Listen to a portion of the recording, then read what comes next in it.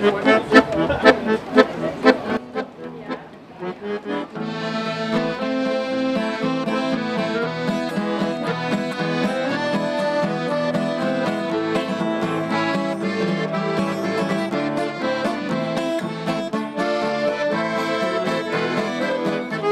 Es gibt Hauptspeise, Reis mit äh, Fleisch und Gemüse. Es ist typisch usbekisches Gericht, aber bietet Sachen aus Sowjetunion eigentlich.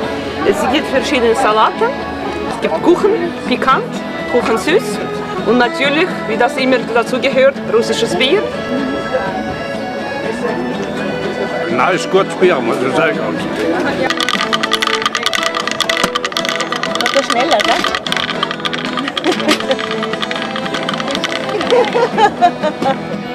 Es wird der schwarze Tee in einer Topfe tun und dann auf äh, mit Wasser äh, drauf tun und dann wartet man ein bisschen und wenn er ganz stark ist, dann man dann verdünnen mit dem unteren Teil.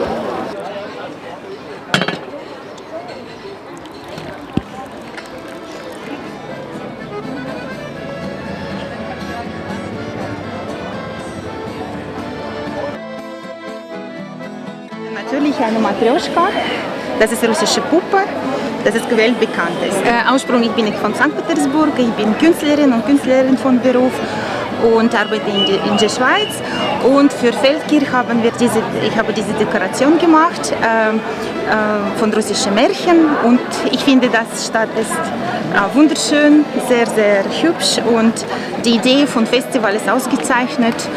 Wir haben das schon genossen gestern Abend und ich hoffe, äh, gehen wir heute Abend nochmal, ähm, weil kommen so interessante Musiker hier und die Idee mit Markt ist ausgezeichnet. Ja, das finde ich toll alles.